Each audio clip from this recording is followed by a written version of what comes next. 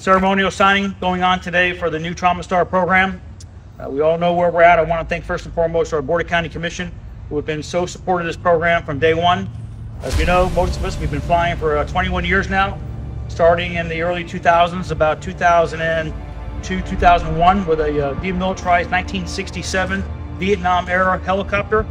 The first three years, which was uh, what we started Trauma Star with, proving we could do it. We then went to an A double plus Sikorsky S-76 for the next 10 years, still only using one helicopter, at times having other missions waiting. The program, as we know, has developed and grown each and every year to the last time we've had now currently three S-76C plus models aircraft, which have uh, serviced as well for the last 10 years. But we're at the point now that their life is coming to an end. As we know, we looked at different helicopters, what was the best future of this program, with a lot of great input from our friends in the county, fire rescue, aviation, our mechanics, or pilots, and whatnot. We've determined that the most suitable, best helicopter for us now is the um, AW-139. This was a one-time Agusta, now it's owned by Leonardo. It's an Italian-made helicopter.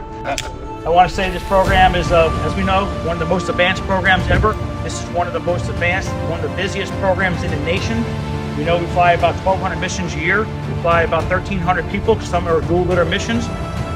We know we have some of the most advanced life support uh, operation procedures on this helicopter between blood, TPA, other drugs. So we do stuff that our helicopters don't do or not equipped to do. Most helicopter programs are designed to lift off, go a short distance and land. They don't have time to do a lot of advanced life support. They're just trying to stabilize a patient for a flight.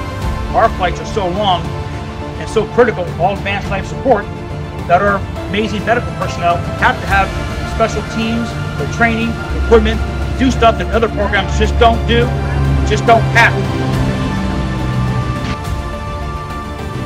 As we know, this is a joint cooperative effort between our of County Commission, the Sheriff's Office, Hunter County Fire Rescue,